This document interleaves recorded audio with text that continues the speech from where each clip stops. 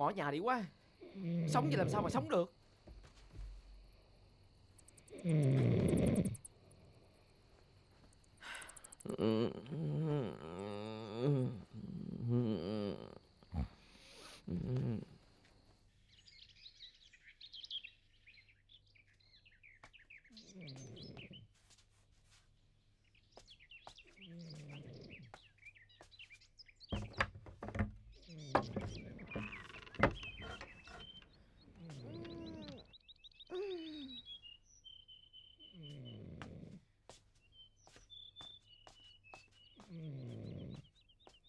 Trời Sao nay Nam dậy sớm dữ vậy trời?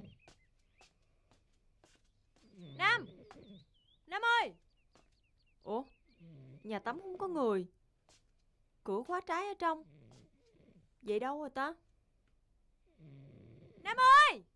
Nam! Anh Điều Dậy coi. Dậy Nói này nè. vậy? Bộ sáng à Nam đâu rồi? Ờ, ờ, Nó Nó Nam á. Chắc nó ra ngoài rồi phải không? Đâu có đâu Nãy cửa khóa mà. Ừ. Trời ơi thì nó vô trong nhà tắm hay là nhà vệ sinh chứ gì? Em gọi nãy giờ đâu có ai trả lời đâu. Nó đi đâu ta? Tự nhiên nó biến mất mà không để lại dấu vết gì hết hả? Vô lý. Đi đâu vậy trời? Hay hay là hay là nó vô trong nhà vệ sinh chứ gì? Nam ơi Nam. Nam ơi ê, ê, ê. Hay là nó vô trong nhà tắm nó tắm rồi nó bị xỉu không? Nó mới bị bệnh hết á. Lẹ lẹ lẹ. Nam ơi Nam. Không có. Không có luôn. Có không? Không. Vậy Nam đi đâu trời? Nam ơi Nam. Nam! Nam ơi Nam ơi. ngộ ta tự nhiên cái thằng này bị mất tích cái gì giống như là bị bị bị bị giống như là bị người ngoài hành tinh bắt cóc vậy ta? Đi ê em đi giờ? ra ngoài coi thử cái chiếc đê ba nào đậu ngoài không Không có giỡn á nha. Chứ giờ sao? Nam ơi Nam. Nam! Cái thằng quỷ này. Ừ. Trời Nằm nguyên con dưới đất đây nè. Ê! Trên giường mày không nằm mày nằm chỉ dưới đất kiếm thêm mùa nổi luôn mày. Nam! Trời ơi cái thằng này nó ngủ sai dễ sợ luôn nha. Kêu um sùm vậy mà không chịu dậy luôn kìa. Dậy. Để đó anh để đó anh dậy dậy dậy dậy dậy dậy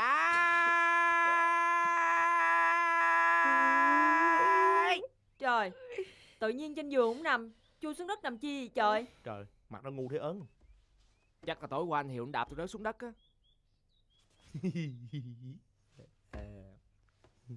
Nhiều khi ngủ sai quá sao biết được? Thôi Hai người dậy đánh răng rửa mặt đi Còn đi tập xe đạp nữa kìa.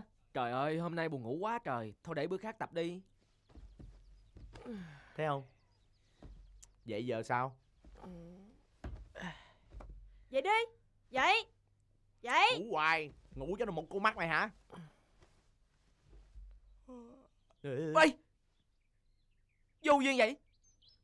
Hiếu Nhớ tập không có được la á nha biết rồi yên tâm đi. Anh sẽ mềm mỏng nhẹ nhàng với đó Ừ. Lên mày. Ê Mới nó không la làm gì mà nạt nộ dữ vậy? Đâu phải anh kêu nó như vậy á lên đi cưng. Rồi anh sẽ chỉ cho em chạy đi biết chạy với người ta nha cưng nha. Lên đi cưng. Nhanh nhanh nhanh. Anh Điều mà có kiếm chuyện với anh á Anh cứ đi về mát tôi. Ừ. Yên tâm đi không có gì đâu mà.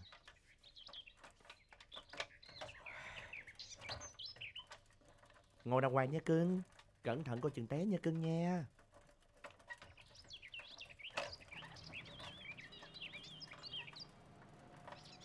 Ê cái thằng quỷ nhỏ Tao thấy mày phóng xe mô tô như là điên Nhưng mà làm mày không biết chạy xe đạp là sao? Vậy chứ anh chạy xe đạp giỏi như vậy anh biết chạy xe mô tô không? Không. Đó thấy chưa? Thấy gì? Đâu có phải ai biết chạy loại xe này thì biết chạy loại xe kia đâu. Trời đất ơi mày so sánh kiểu gì kỳ vậy? Kỳ gì mà kỳ? Xe đạp khác Xe mô tô khác. Mày so sánh gì sao được? Mà, mà mày là người đầu tiên tao thấy không biết chạy xe đạp Tại sao kỳ vậy? Thì tại hồi nhỏ tôi tập xe đạp bị té chảy máu Nên là ba mẹ tôi mới cấm không cho tập xe đạp luôn. À mà bị cấm hoài á, Đâm ra là sợ xe đạp. Cứ leo lên xe cầm lái là sợ hà Sợ kiểu gì kỳ vậy? Mày là người đầu tiên mà tao thấy hả, Là người sợ xe đạp á. Lạ đời thì chứ.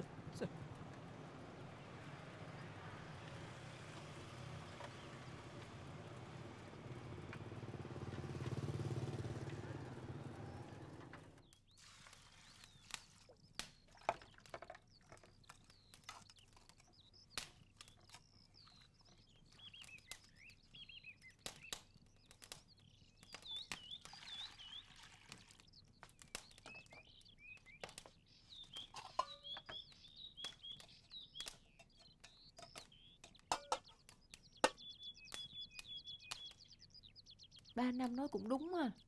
Sống chung với lũ. Anh Hiều là lũ. Nam tập xe đạp với anh Hiều Là tập chung với lũ. Cũng hay. Ui da Mày thả lỏng cái tay mày ra coi. Mày thoải mái lên. Mày ngồi trên xe đạp chứ đâu phải mày ngồi trên lưng con cọp đâu mày sợ dữ vậy? Sợ té quá à. Trời tao muốn bó tay với mày luôn vậy. Bây giờ bình tĩnh nghe chưa? Tao đếm đến một hai ba là mày chạy nghe chưa? Bắt đầu. Một hai ba đi Trời ơi tao đếm một hai ba sao mày không chạy? Hay là nghỉ tí cho đỡ căng thẳng được không? Lát tập. Sáng giờ mày có tập được khỉ gì đâu mà đòi nghỉ. Không nghỉ ngơi gì hết trơn á. Bây giờ mày tập cho tao nghe chưa? Chuẩn bị nè tao đếm một hai ba chạy nha. Một hai hai rưỡi ba chạy. Ui da. Trời, trời ơi. Da. Có sao không? Không. Không sao thì leo lên ờ, tập tiếp đi. Leo lên.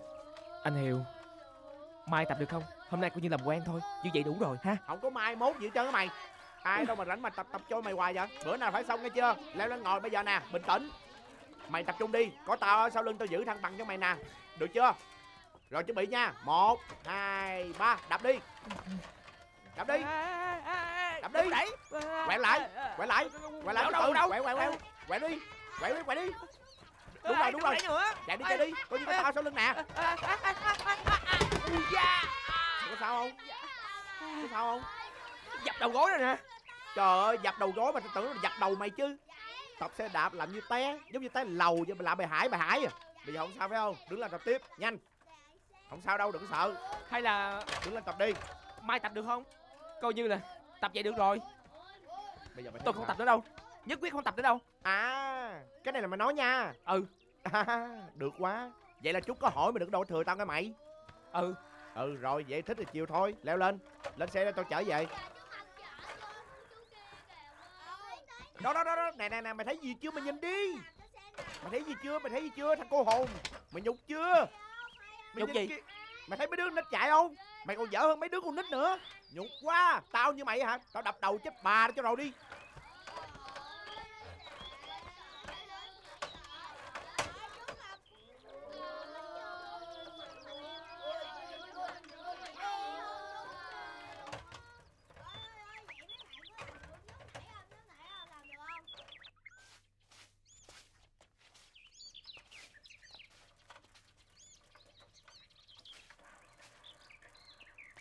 Ủa sao đạp về sớm vậy? Có tập được mẹ gì đâu. Cái thằng đàn ông con trai nhát thấy ớn. Nó leo lên xe đạp nó run run vậy nè. Mới té cái đầu về có chịu nổi không? Anh có sao không? Bầm đầu gối nè.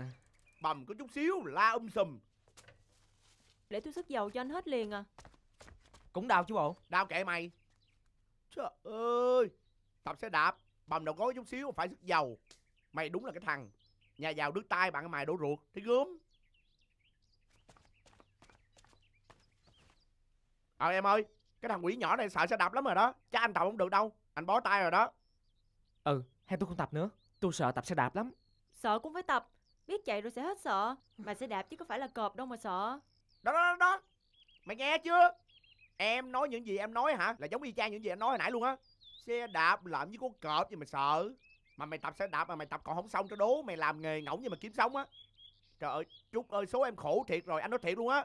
Không biết đi xe đạp á Thì anh tự kiếm tiền đi xe ôm xe buýt đi. Tôi không có lo nữa đâu.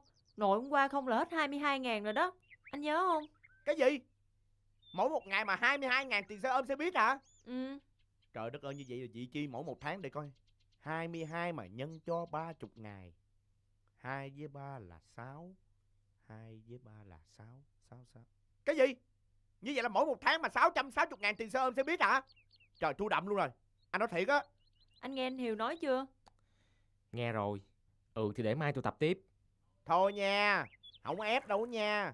Được không đó? Hãy leo lên xe đạp eo eo eo vài cái đồ về đi. Mà nói thiệt mày tập kiểu đó vài năm sau mày cũng biết đạp xe đạp nữa.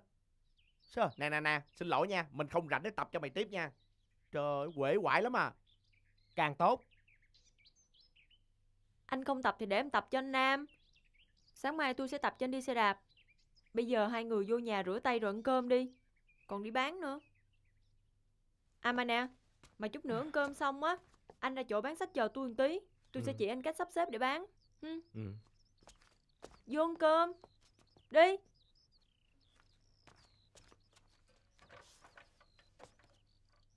Gặp một cái thằng dở hơi khùng khùng điên điên vậy mà Cái vụ chỉ này chỉ nọ Đuổi mẹ đi cho rồi.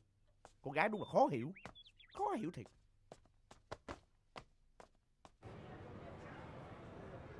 Đi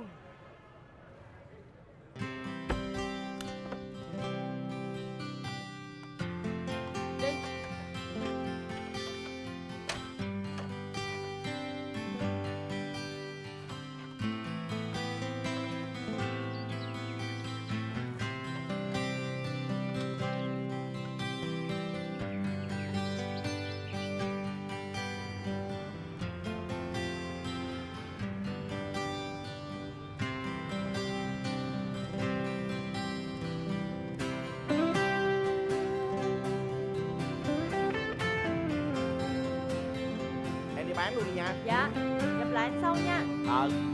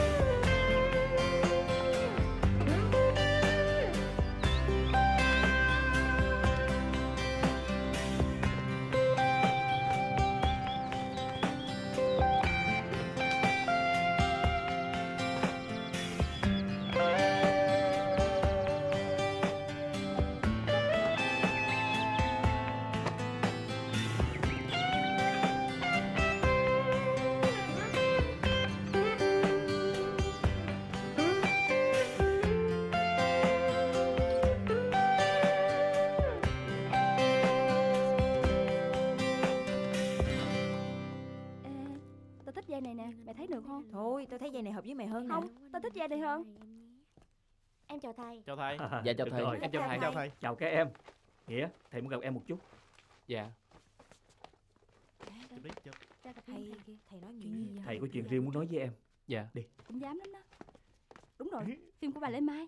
Ờ đúng rồi á Thằng này nó hùng quá à. Ừ, mày nói đúng Vậy hả? Ai biết đâu.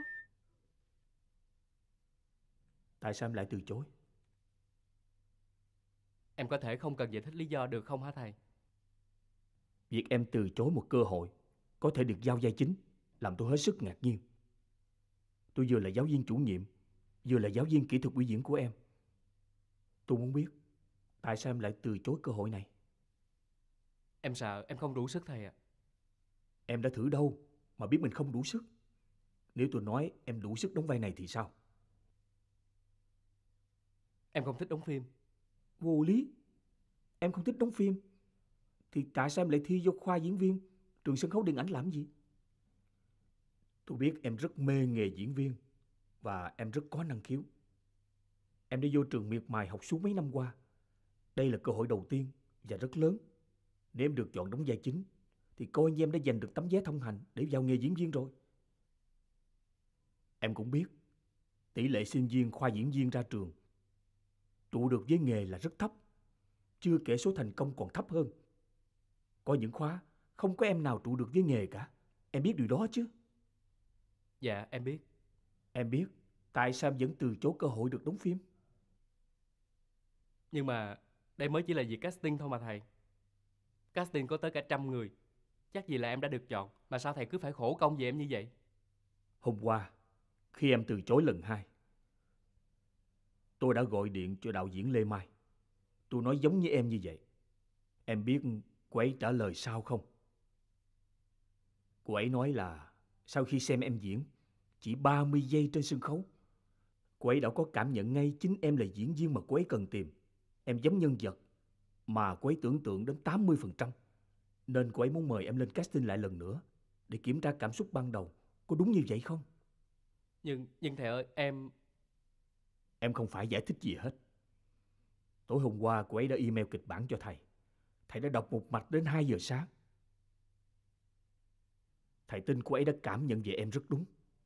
Thầy đã dạy em suốt 3 năm môn kỹ thuật biểu diễn. Cho nên thầy hiểu rất rõ về em. Và lòng say mê nghề nghiệp của em. Kịch bản này rất xuất sắc. Đã lâu lắm rồi. Thầy mới lại thấy một vai nam chính hay đến thế cho phim Việt Nam. Nếu em thể hiện tốt vai diễn này, thầy tin là mọi cánh cửa nghề nghiệp đã mở rộng với em.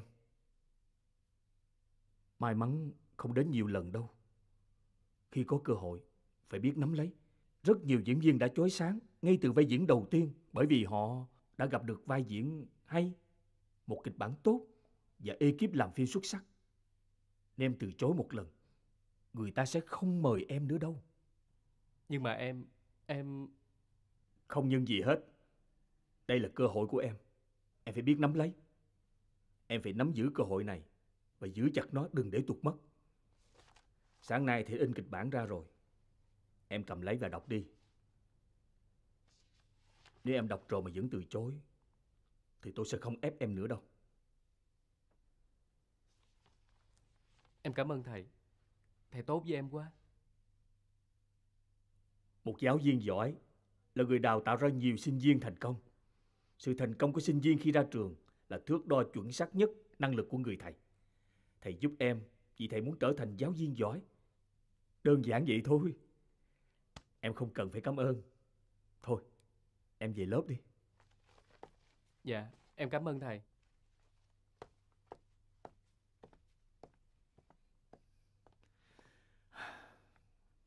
Em giấu anh những chuyện này em nhé Ủa Nghĩa Thầy kêu bạn lên có gì không vậy? Ờ mà thầy kêu mày lên có gì không vậy? Có gì không? Đâu có gì đâu. Nói đi Nghĩa. Có chuyện gì thì nói đại đi. Bí mật quá à, giấu hoài. Không có mà. Thấy ghét không nói thì thôi. Trời ơi, không nói thì thôi. Đóng phim thôi mà. Phải đặt bí mật, bí mật làm gì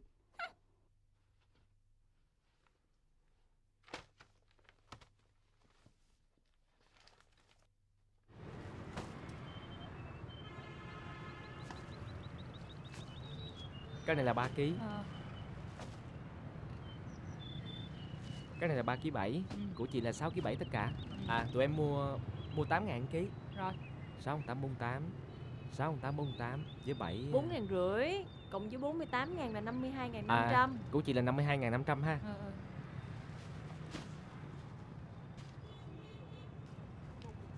Em gửi. Cảm ơn chị nha. Cảm ơn chị. Chị về ha. Công nhận Trúc tính nhẩm nhanh thiệt đó nha Thì tính riết rồi quen thôi. Mà anh học bán sách của tôi cũng nhanh thiệt á. À Khen tôi thông minh đúng không? Sướng thiệt á. Cảm ơn nha. Ủa Mà tôi nghe nói á Khi mà nhân viên được xếp khen là được tăng lương đúng không? Đừng có tưởng bỏ nha. À mà mình bán sách ở đây á Có nhiều người bán sách để cho mình bán như chị vừa rồi không? Cũng thỉnh thoảng thôi. Đa số thì kêu mình đến nhà lấy. Còn mấy cô chú À, quen trong công viên á Thì đem sách ra đây bán cho mình luôn. À. Cuốn số phận con người này á Hay lắm á. Trúc đọc chưa vậy? Chưa. Sách hay lắm giữ lại mà đọc. Mình đọc xong rồi bán ha? Thôi bán luôn đi. Đọc làm gì? Ủa sao vậy? Hay lắm Đọc đi đã. Tôi đã nói là bán mà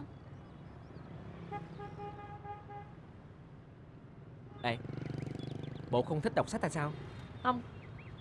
Thế mà tôi tưởng á Đóng sách này á, Trúc đọc hết rồi chứ. Ở trong này có mấy cuốn tôi đọc rồi á. Như là cuốn Cuộc trinh thám này nè Đọc tới khúc cuối Mới biết tên giết người là ai. Sợ cực kỳ luôn á. Rồi đây Cuốn giấy mèn phiêu lưu ký nè. Nó nói về hả Cuộc phiêu lưu của con giấy mèn đã dễ sợ luôn á. Con giấy mèn mày đi phiêu luôn hả? Ờ chứ không chú ý tới tựa sách à. Giấy mèn phiêu lưu ký nè. Ờ Mà có hình con giấy mèn nè. Tôi đâu có để ý đâu. Nhìn mắc cười quá hả Ừ hay lắm á. Giữ lại mà đọc đi. Tôi chưa thấy ai đọc cuốn này mà chơi chán hết á. Ừ Để từ từ đọc. Ủa sao từ từ đọc? Đọc luôn đi hay lắm. Bây giờ đang bán sao mà đọc? Trời ơi, có ai tấp vô cái chỗ của cô mà mua đâu. Khi nào có người mua thì mình ngưng đọc. Có tôi phụ có sách cho, có gì đâu đọc đi. Bây giờ không thích đọc Ồn quá sao mà đọc? Đọc sách viên tỉnh mới đọc được chứ. Mà trong số những cuốn sách Trúc đọc rồi á Trúc thích cuốn nào nhất? Cuốn nào cũng thích hết á. Ủa, sao thích hết như vậy được Phải có cuốn thích nhất Và có cuốn thích ít hơn chứ Như tôi chẳng hạn ha. Ừm, Hồi xưa tôi thích nhất là cuốn Trà Hoa Nữ Đọc hồi năm lớp 9 á Đọc xong á, tôi khóc quá trời luôn. Mà trong số ờ, những cuốn sách mà Trúc đọc rồi á Trúc thích cuốn nào nhất? Đều nhau. Thích đều nhau? Ủa sao kỳ vậy? Ủa Mà đổi đề tài khác được không? Sao anh cứ nói hoài chuyện này vậy? Chưa thay bán sách mà nói tới chuyện đọc sách đó là Là gắt cổng như cô Sao chưa chịu đổi đề tài nữa? Ờ, Ừ. Hôm nay không biết trời có mưa không ta? Ừ tôi cũng thấy vậy á. Mà sao như duyên quá vậy? Ủa Cô mới kêu chuyển đề tài mà. Thì đó.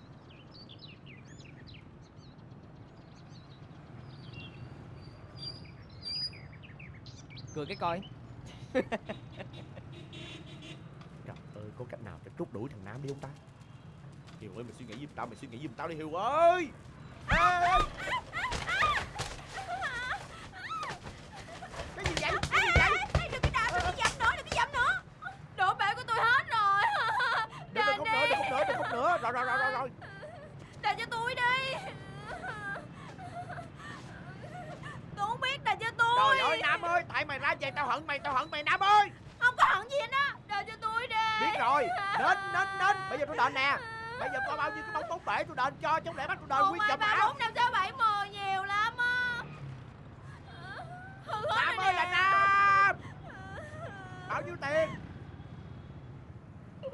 Gì mà ngáp ngắn ngáp dài vậy?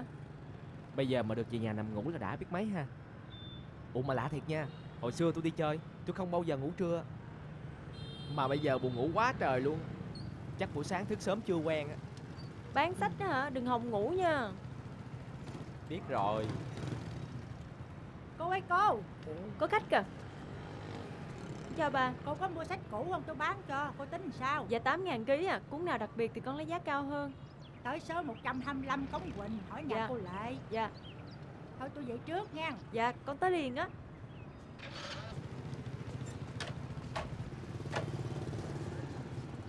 Tôi đi mua sách. Anh ở đây nửa tiếng canh sách giùm tôi nha Tôi đi về liền á. Ăn gì tôi mua luôn? Ra đi. Rồi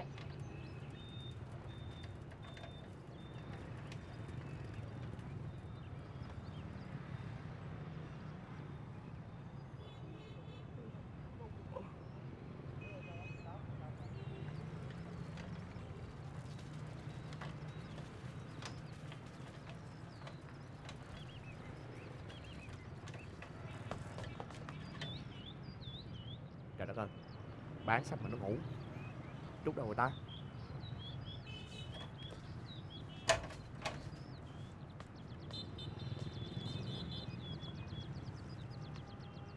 Việc gì phải đánh thức cho mày vậy?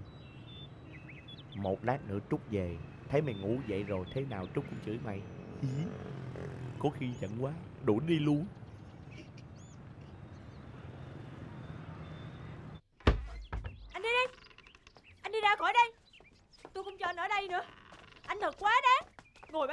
gà ngủ gật Tại sao tôi phải chịu đựng một người dối trách nhiệm và làm biến nhanh chứ Ngủ đi Ngủ cho sai đi. Chút về liền giờ đó. Coi như tao chưa tới đây nhé.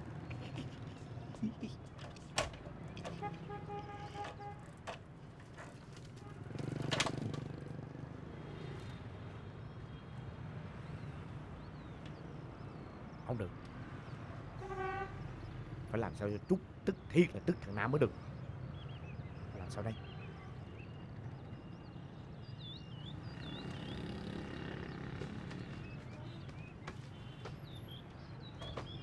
Mà chết chắc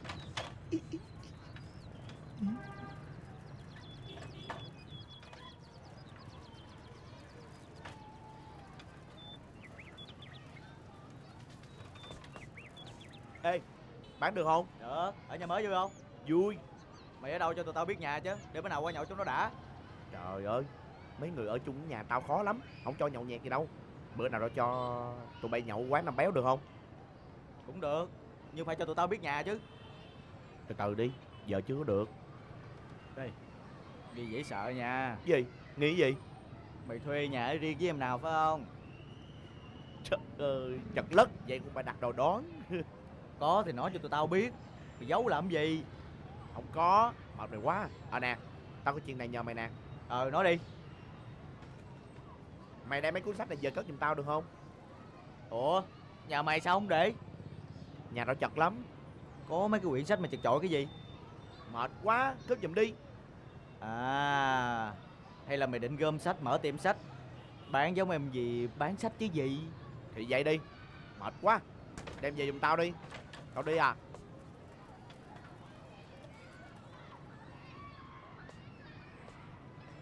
Cái thằng Hiếu này càng ngày càng khó hiểu. Chú, chú bán cho con cái trong trống cái nào chú. con?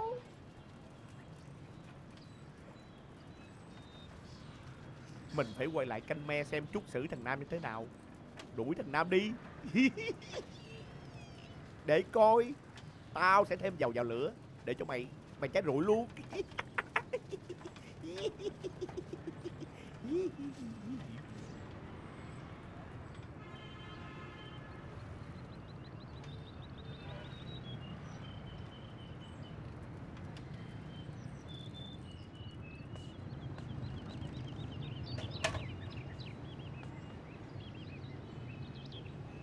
Quá đáng thiệt Vậy Trúc mới về hả? Bán sách mà ngủ gật Lỡ trộm vô lấy không còn cuốn làm vốn rồi sao? Ngồi một mình buồn ngủ quá Ngủ lúc nào không hay luôn á. Mà mới có ngủ được có một hai phút hả? Nãy giờ có bán được không? Đâu có ai ghé vô mua đâu. Sao thấy mất mấy cuốn sách kìa? Ủa? Có chắc là mất không? Chắc chứ sao không chắc? Nghề của tôi nhìn sơ qua là biết liền Nguyên lỗ hỏng kìa. Mất 5 cuốn đó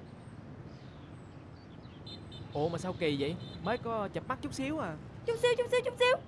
Đã dặn đi dặn lại bao nhiêu lần Là ngồi bán sách đâu có được ngủ đâu. Cũng hên là mất 5 cuốn á Chứ mất một đống rồi sao? Có chuyện gì vậy? Đâu có chuyện gì đâu.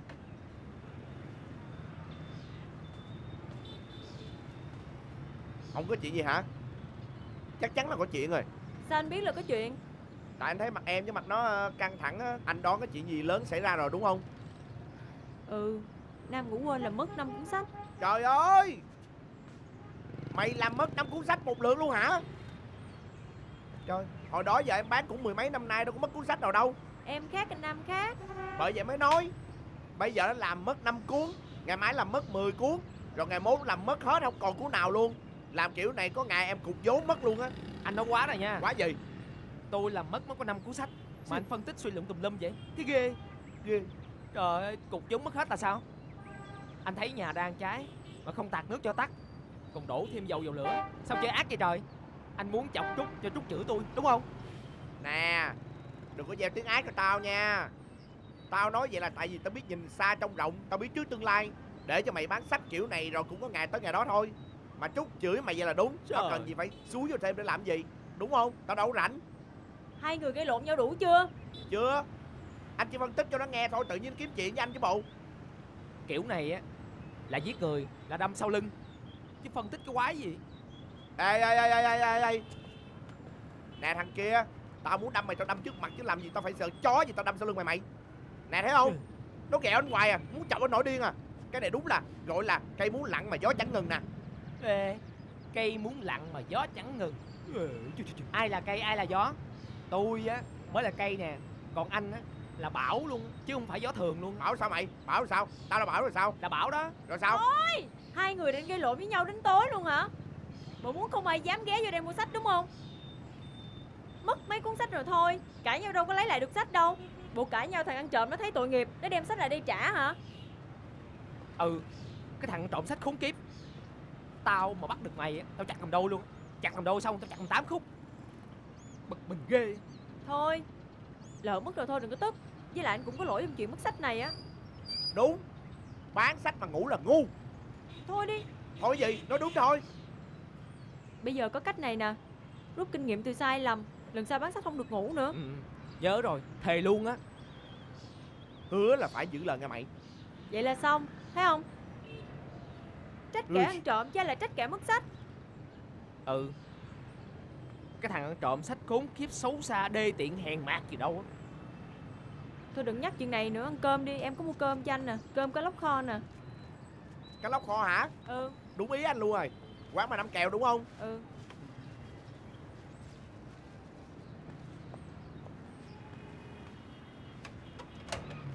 Chó chết biết vậy nè em hốt nguyên đống sách coi thử chút về có đuổi mày không? Lần sau mày ngon mày ngủ đi thử đi tao làm lần nữa cho mày biết. Anh yêu hả? Lẩm bẩm gì vậy? Là đang cơm đi. Lẩm bẩm gì vậy? Ăn cơm xong anh về nghỉ đi. Một giờ rưỡi ra đây bán sách phụ tôi nha. À, tôi xách bịch cơm về nhà ăn luôn được không? Ăn ở đây đi cho nóng. Thôi bây giờ đang nóng đâu có ăn được. Mang về nhà cho nguội bớt dễ ăn. Ừ. Lại cái tật xỏ xiên nữa Thôi sao cũng được. Anh á Làm gì làm? Một giờ rưỡi ra đây bán sách phụ tôi á. Rồi ok. Tôi về trước nha. Về à. Về đi mày.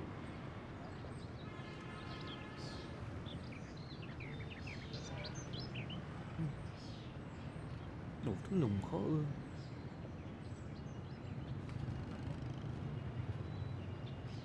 Công nhận hả? Dạo này em thay đổi dễ sợ luôn á. Thay đổi gì thằng nào nó làm mất một lúc năm cuốn sách luôn vậy mà. Thôi Đừng nhắc chuyện này nữa được chưa?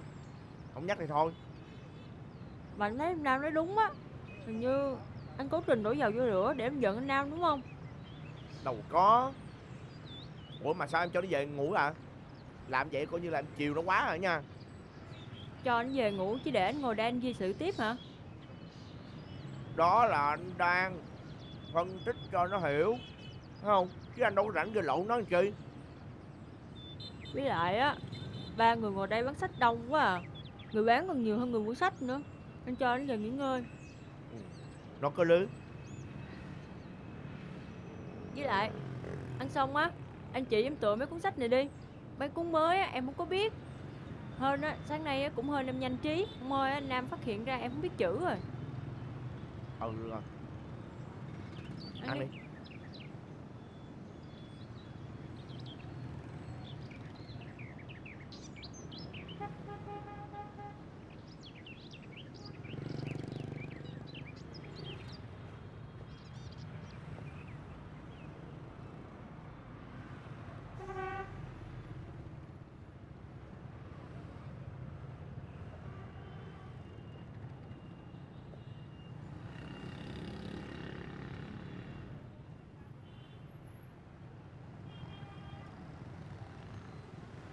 bà sáu bà sáu. Bà, xin lỗi chị. Bà sáu bà sáu. Kỳ lạ thiệt. Sao lại có hai người giống y chang như vậy ta?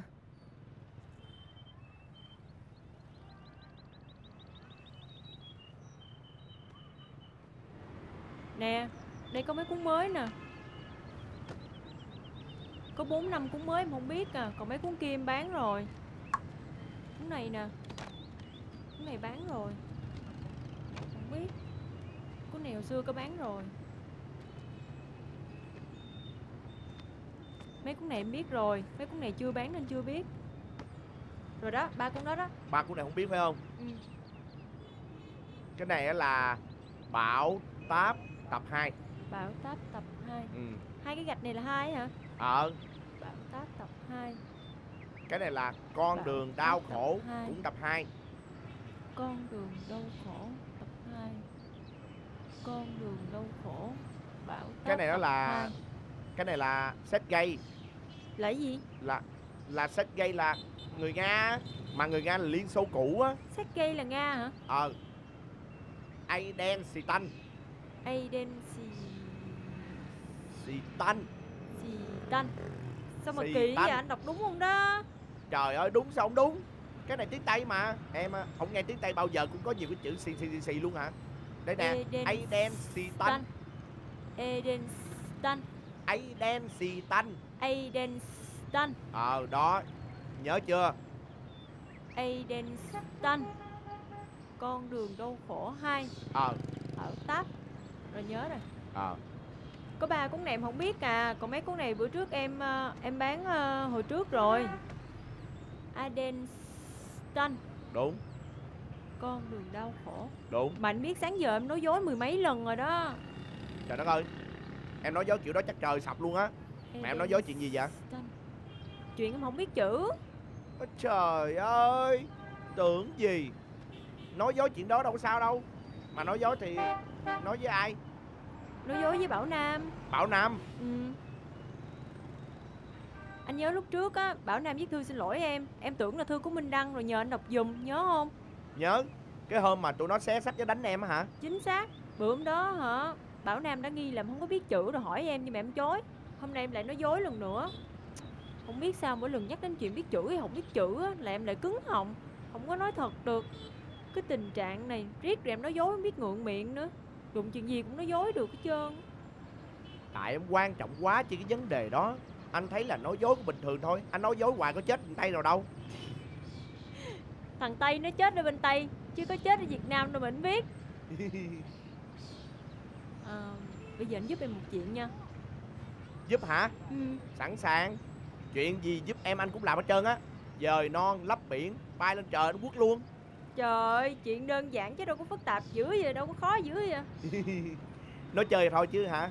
Em mà nhờ anh làm mấy chuyện đó hả? Mụ nội anh làm cũng không được nữa. Mà chuyện gì vậy? Đừng nói là kêu anh đọc sách cho em nghe nha. Năn nỉ mà. Em lỡ nói với Bảo Nam là em biết đọc chữ rồi. Anh đọc cho em nghe đi Để lỡ Bảo Nam mà hỏi em còn biết đường nói.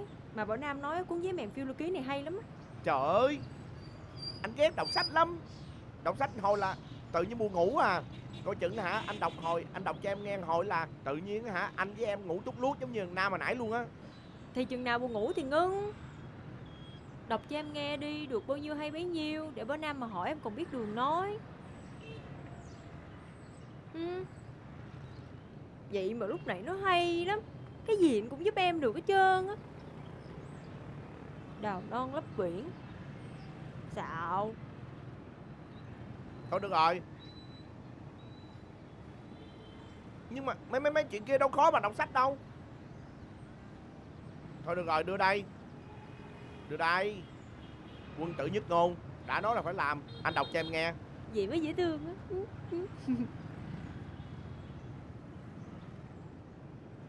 Chuyện này là chuyện của tô hoài.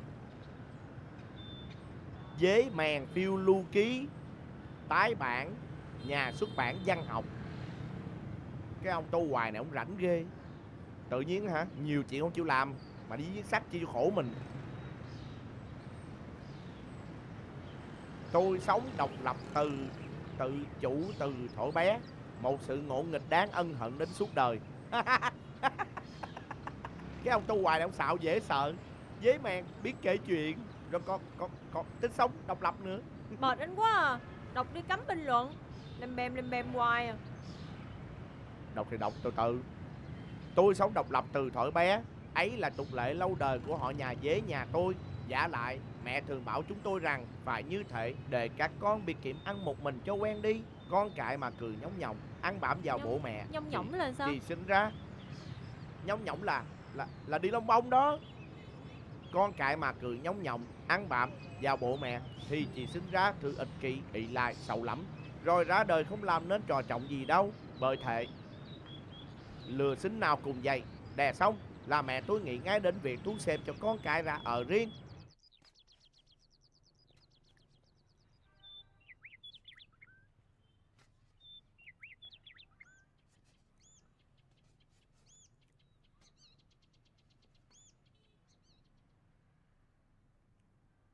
Bực mình chả hiểu được quá. Tìm cách phá mình hoài là sao? Có cách gì làm cho thằng cha hiểu biến mất khỏi cuộc đời mình không?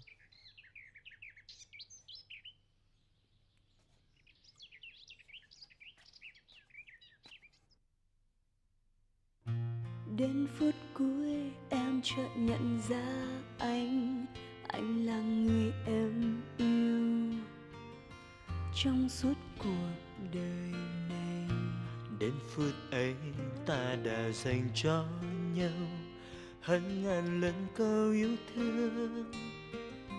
Hơn cả một trái tim người yêu ơi muốn nói bao điều. Nhưng sao môi này cứ thẹn thùng giấu riêng. Nhìn sâu trong đáy mắt dịu dàng. Chẳng cần lời nào hơn khi ta đã thấy được yêu thương bên nhau ta gửi mây cho trời. Bên nhau ta cưỡi hoa cho canh giây phút này. Giây phút này nguyện luôn mãi có đôi. Bên nhau xin giữ mây bềnh bồng Bên nhau lòng nghĩa sao đắm say. Trọn vẹn cho nhau. Nhé anh giây phút này. Na